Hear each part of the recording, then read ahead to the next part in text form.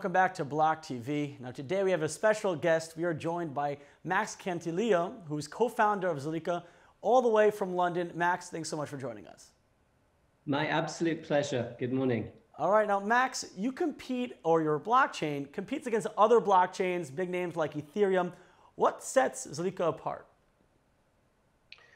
Okay, so we designed Zilliqa to, to do a number of things which we felt were very, very important if blockchain platforms were, were going to indeed become mainstream. So the first thing that we wanted to solve was scalability because the throughput rate on a lot of other public blockchain platforms does not allow scalability. And so we designed a, a protocol that in fact uses a technique called sharding. It's like a divide and conquer technique, which allows us to process thousands of transactions a second instead of seven to 10. And, and so that was, that was, that's the sort of number one differentiator. The second thing is that we are, as a team, very cognizant of security. And we hear every day about, about attacks on, on public blockchain networks and applications. So we also designed uh, Zilliqa to be uh, highly secure, both at a, at a network level, but also at an application level. In fact, we've written our own smart contract language called Scilla, which allows you to formally verify code before you release it onto, onto a network. Um, thirdly, we, we wanted to make sure that our token um, was, was economical for people to use because without the right economics, we, we we're never going to achieve mainstream adoption. So those were all of the things we set out to achieve, and I'm very proud to say we achieved them last year. Mm -hmm. Now, those all sound like amazing technological advancements. Uh, this seems more geared towards enterprise. Is your blockchain uh, for enterprises, is it for consumers, or, or for both? Actually, we we believe it is it is for both, and we have uh, already shown that um, indeed, if enterprises want to use public blockchains for uh, for whatever application, and I can I can maybe later on talk about some of those, then these these platforms have to be enterprise ready. So we have in fact uh, built a, a, tech team that has a lot of experience in building enterprise grade platforms, but also um, platforms that are usable. You know, these things have to be much, much easier to, to use and engage with than they are today. Um, but also, we, we designed the platform so that uh, individual developers could build distrib- you know, decentralized applications on top of Zilliqa um, and, and in, a, in an easy and efficient manner. So, so we've actually designed it so that it's usable by both enterprise and, and consumers.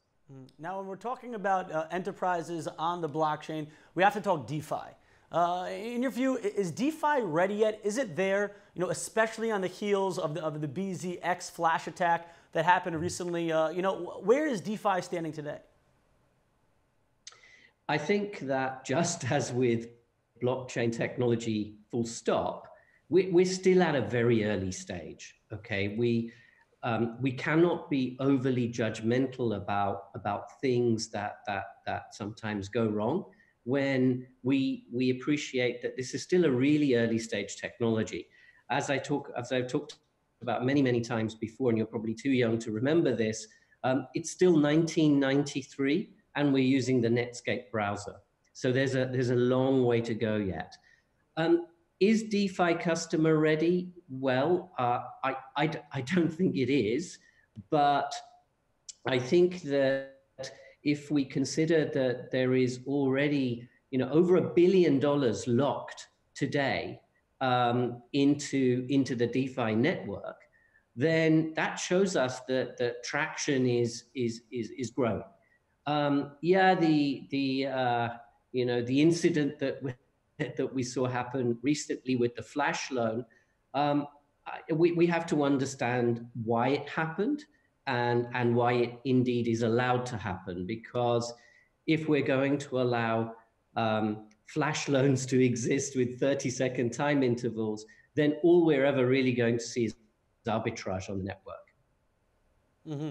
And, is, is, arbitrage or allowing arbitrage, is that necessarily uh, something that you want to avoid? Or, or, if you plan it and you know that it will be used for arbitrage, can you kind of make that, you know, if you look at the, the traditional markets, you know, where essentially it's become millisecond trading uh, and people understand that. Do you, do you feel that with DeFi, you kind of want to move away from, from those traditional, you know, speed-based trading uh, and kind of put the power back in the hands of the people? I think we I think we have to carefully consider what utility we want from from decentralized finance. If we want it to be a utility for high frequency trading, then then sure, you know, then we have a, an excellent mechanism here for people to play arbitrage. However, uh, in my opinion, decentralized finance is a much much bigger movement than allowing people to to, to play play the arbitrage game um, that that doesn't that isn't really going to change the world and make it a better place. Let's let's be honest with ourselves. Um, however, I think that if we look at look at all of the things that constitute decentralized finance, even in its early stage today, you know, whether we're looking at prediction markets, whether we're looking at lending, whether we're looking at staking, um, whether we're looking at you know how how decentralized finance is really going to help the the gig economy or the freelance markets then these are these are applications that really are going to make the world a you know a, a much better place. Um, today when a lot of people talk about decentralized finance they're talking about how we can bring financial services on the blockchain to uh, the unbanked and the underbanked. Actually at Zilliqa, we have a we have a slightly different view on this because um, we we we actually believe that that you can um, you, can maybe start to uh, unbank the banked um, and and I think that the uh, you know the the audience for decentralized finance is not just just the unbanked and the underbanked it, it's actually also the um, it's an incredible uh, mechanism for for helping you know all of us, frankly. Mm-hmm. That's a very interesting uh, take, unbanking the, the bank. I haven't heard that one before. But uh, you mentioned that we're still very early in the technology, the equivalent of 1993 to the internet. I was born in 1993, funnily enough. But uh, you, you already had uh, created partnerships with really big organizations, including industry giants like PepsiCo. Uh, what are you doing with them? So the um, what what we've been doing at at, at Zilliqa is uh, we've been looking at adoption in two different ways. One is that we have set aside a significant grants program to help uh, developers who want to build, um, uh, you know, decentralized apps on top of Zilliqa. And um, an amazing uh, success story is, of course, Unstoppable Domains out of um, San Francisco. Take take a look at them; they're they're doing amazing things and and growing very very rapidly. Um, but but at the same time, uh, we also wanted to make sure that we could find large industrial scale use cases. And a few years ago, Zilliqa indeed started working with Mindshare, who are part of the WPP group, the advertising giant. And we worked with them on, uh, on, a, on, a, on a pilot project to show indeed how you could take the advertising, the digital advertising um, supply chain and make it a lot more efficient. And uh, in, in fact, we, we worked with Mindshare and, and, and um, you know, continue to do so. And in fact, a sister company was born at the end of last year called Aqilliz, which is focusing on building products for the digital advertising world and um, aimed at bringing uh, transparency and efficiency to a marketplace that we all know is a little bit broken today as consumers. So um, so again, watch the progress of, of Aqilliz and what it ends up doing uh, on Zilliqa as a platform, because uh, there are some extraordinary products uh, and solutions um, coming um, that I think make life better for both large brands as well as us as, as consumers.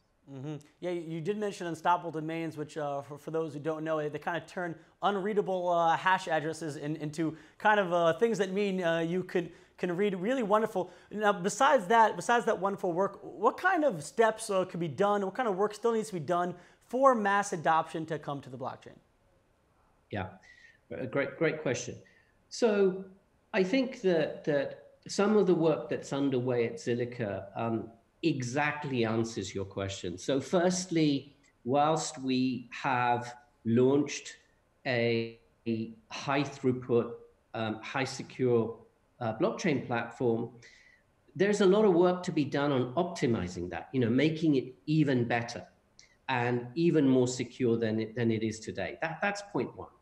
Point two, which I think is, um, is, is sort of forefront of our thinking right now, is that we want to make uh, we, we want to make this technology much more usable, and that means streamlining the the uh, developer experience.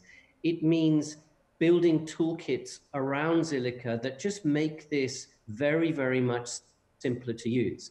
I, I think for anybody that today has has either built a blockchain application or, or even done a cryptocurrency transaction, we all know that it is a, a, a not really a very comfortable um, or, or, easy uh, customer experience. And so um, this, I think, actually is pretty much core to, to even decentralized finance becoming a, a much, much bigger industry.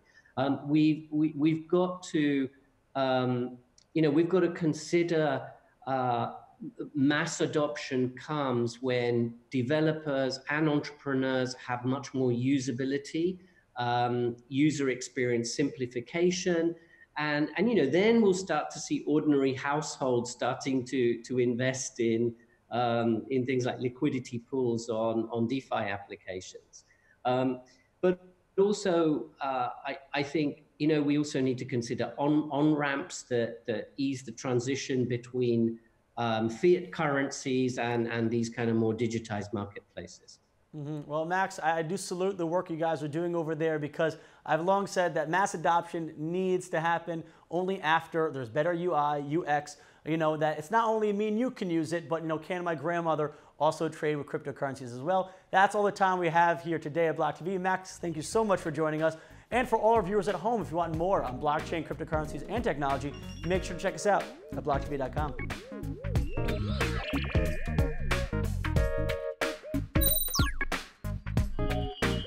For more news and updates, follow us on Twitter.